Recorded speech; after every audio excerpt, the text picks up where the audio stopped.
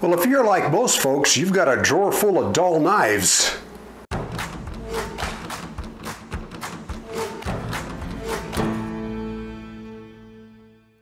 I just want to take a minute to show you how easy it is to keep your knives sharp. Doesn't take expensive gear, uh, and it's fast. There's a lot of different ways to sharpen knives, and a lot of money you can spend on doing it.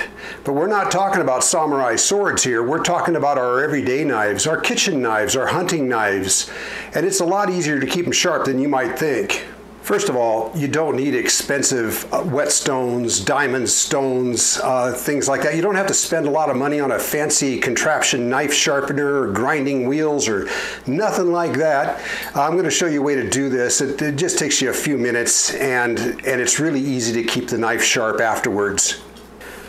I basically use three tools, and this is all I ever use. And it's a it's a diamond sharpener like this.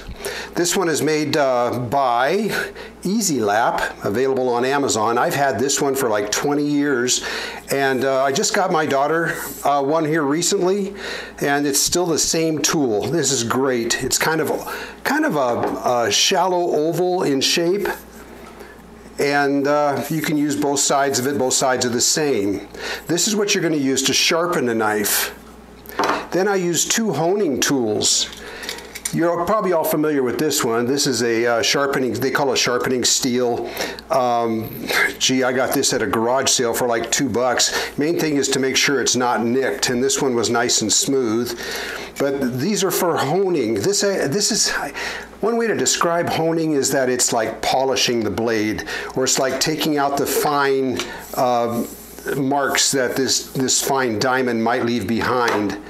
This is another form of honing. This is a ceramic rod. This is also available on Amazon, and my daughter just picked up one of these too.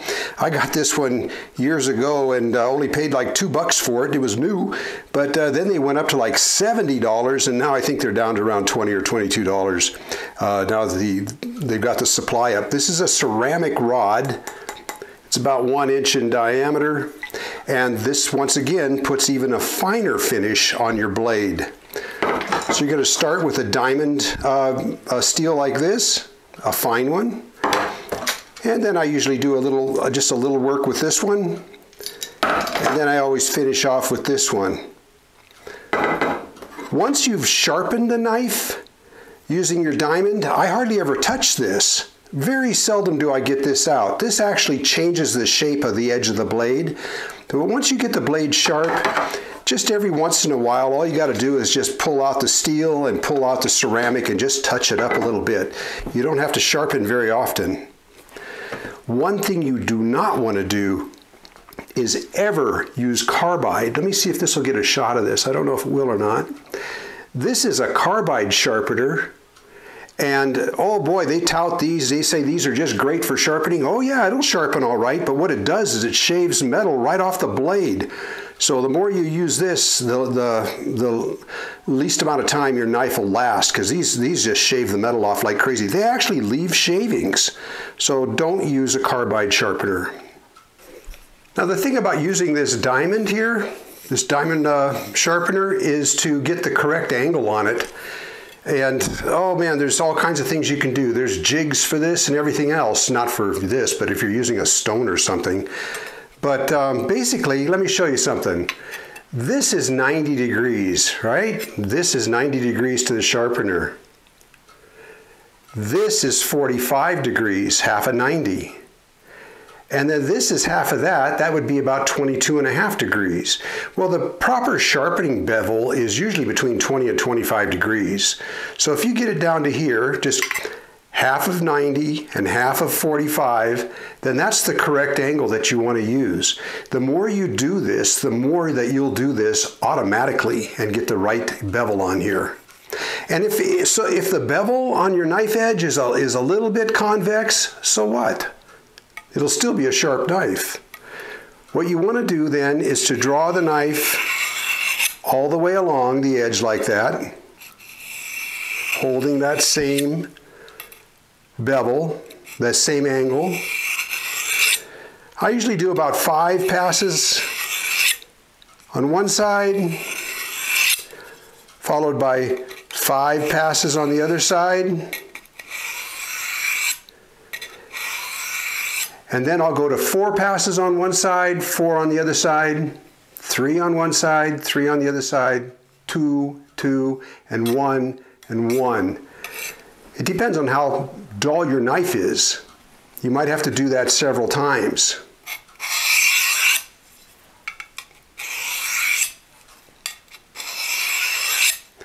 Now, one way to tell to see, you can actually see the edge on your, on your knife. If you hold the knife up where you can look down on the edge and you hold it right in the light, any dull spots, spots in the edge, you'll actually see the edge.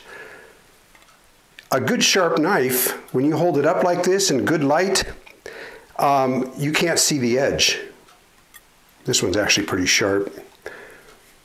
But that's one way to tell. Another way to tell if your knife is sharp when you're done sharpening, well, we'll get to that in a minute. After you've used the diamond, then it's time to hone it. And that's, you've seen this done many times. And it's the same thing. You can hold a little more than the 22 and a half degree or 25 degree. It doesn't matter. You can hold a little more because you're not really removing anything. What you're doing here is just polishing the very edge of the edge. Just a little bit. Doesn't take much to do this. Okay?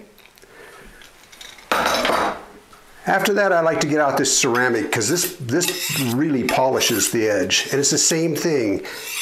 The, the angle is no longer critical.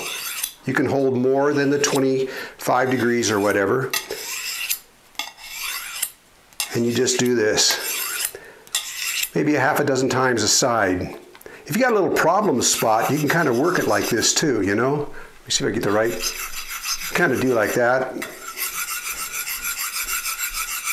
Linda is really good at sharpening knives. She gets them razor sharp. And actually working the edge, like I showed you, you can do that on the diamond too. If you've got a real bad spot on your blade, you can kind of work that out like this. Now, to tell if the knife is sharp or not, there's, there's a couple of different ways of doing this. One way is on your fingernail, the blade should catch, like this one catches right there. If it just slides right off, like the backside of this blade just slides right off, then the blade's not sharp. If it's sharp, it'll catch on your fingernail. Of course, the other way is to shave the hair off the back of your hand or something like that. I, I run out of hair, so I don't do that too often anymore. But you know, you can also tell just by feeling it gently. You can actually feel an area that's not sharp. Be careful, because if you do a good job, you don't want to cut yourself now, do you? And then don't keep your knives in a drawer. Get a, get a nice rack that keeps them from rubbing on each other and getting all dull so your knives stay sharp. That's key there because most people do keep them in a drawer. Go buy yourself a nice knife rack. So it's the same for all your knives. An ulu, a knife, it doesn't matter. Same thing. If you're interested in these three tools, I'll put links to them down below the video. They're all available on Amazon. So anyways, Hope I helped you out here. If you like the video, please like, share, and subscribe, and we'll see you around.